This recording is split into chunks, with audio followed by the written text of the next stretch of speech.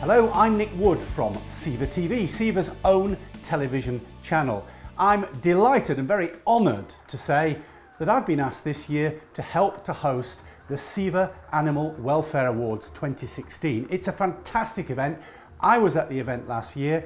You can see some of the winners here on your screen now receiving their gongs.